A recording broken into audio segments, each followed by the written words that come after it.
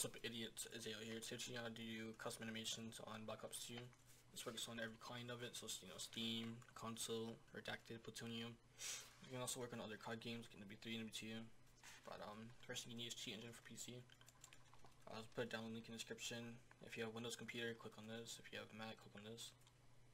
I'm also going to leave this in the description. It's a uh, list of every animation for every weapon. I done this some time ago. So once you have Cheat downloaded, you can open it up. And um, let me just delete this real quick.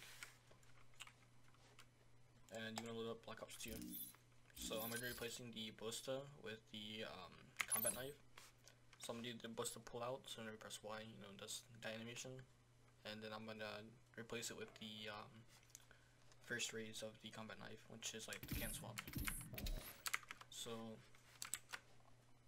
open up cheat engine, click file, open process, click Black Ops multiplayer, and then you're gonna click new scan. Like I said, I'm gonna do it with ballistas. So vmodel underscore ballista. It's not always gonna be the same name as it is in game. But I'm gonna do the uh, pull like I said. So I'm just gonna copy. What the fuck? Let me copy this. And I'm gonna paste in here. And make sure you have it on value type string and search for text. So first scan. There's multiple, so let's just add them all in there. Alright, so I don't know which one's which. I don't really care which one's the correct one. I'm gonna replace them all because I'm fucking lazy. So um, I'm gonna replace it with the combat knife, and I know the combat knife is called vmodel underscore strider. Yeah, strider, strider. And first raise, okay, can swap.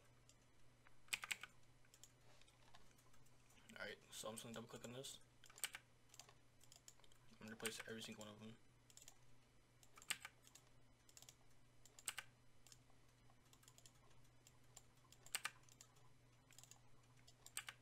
I do want to note every time you start your game, it's gonna like reset to default.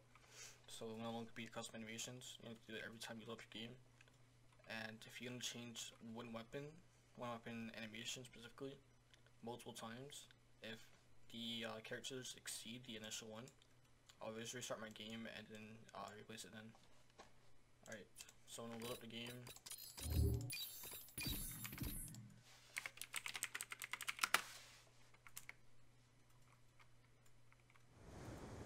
Team Deathmatch.